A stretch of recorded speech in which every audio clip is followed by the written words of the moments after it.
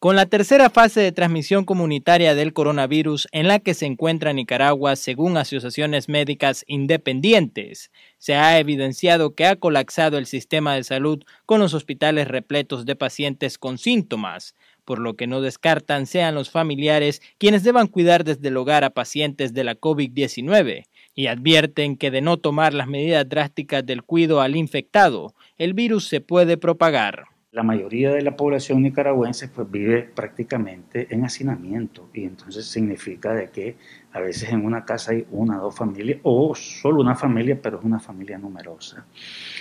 Mira, este, hay recomendaciones para el que está positivo ya de, de coronavirus y está con síntomas, pero son síntomas leves que se pueden manejar pues debe de quedarse en su casa y se debería de aislar en un cuarto donde no haya contaminación para el resto de la familia.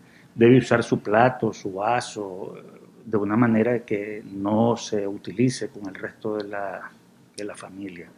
A veces es bien difícil, es muy difícil porque somos extremadamente pobres. decir, hombre, ve, aquí voy a tener un cuarto aislado donde voy a tener el que está contaminado, es difícil. La persona que de manera directa cuide al familiar contagiado debe mantener una distancia de dos metros y entrar a la habitación con su mascarilla, además de brindar al paciente utensilios para la limpieza, aseo personal y para alimentarse que solo sean tocados por el mismo. El cloro debe de estar diluido al 0.5% y eso se obtiene colocando 4 onzas de cloro comercial en un litro de agua. Este cloro diluido sirve para desinfectar baño, para desinfectar inodoro y también para desinfectar las superficies. Las superficies deben de ser desinfectadas al menos tres veces al día. La persona que lo va a cuidar recomendablemente debe de ser una persona joven, una persona sana o una persona fuerte.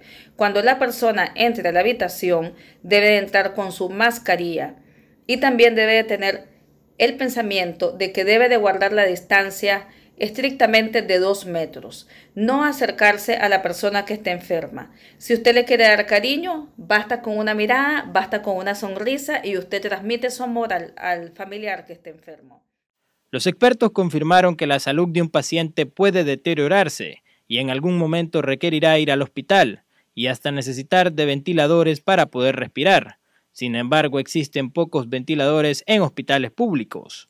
Al promover el aislamiento social, las asociaciones independientes de médicos afirmaban que se buscaba aplacar la curva de contagio y no llegar al punto actual de colapsar los hospitales. Lorenzo Vega Sánchez, Voz TV.